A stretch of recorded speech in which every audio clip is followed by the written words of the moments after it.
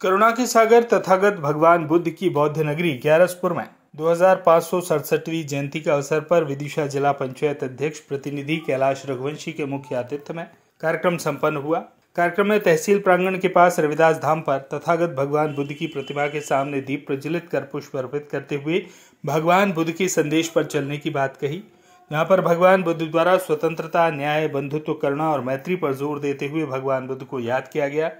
वहीं ग्यारसपुर में बौद्ध विरासत के अवशेष भारी मात्रा में है।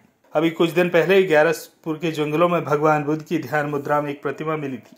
ग्यारसपुर बहुत धनगरी होते हुए भी पुरातत्व विभाग द्वारा यहाँ ध्यान नहीं दिया जा रहा। इससे कि बुद्ध विरासत के अवशेष लुप्त होते जा रहे हैं। प्रशासन को गंभीरता से लेते हुए इस पर ध्यान देना चाहिए। कार्यक्रम में अमर सिंह रघुवंशी के अलावा हिरवाड़ समाज संघ के संभागीय अध्यक्ष महाराज सिंह सूर्यवंशी बीएसपी के जिला प्रभारी अखिलेश अहिरवार, रविदास समिति के अध्यक्ष रघुवीर सिंह सिसोदिया आदि मौजूद रहे। ग्यारसपुर से महाराज सिंह सूर्यवंशी की रिपोर्ट।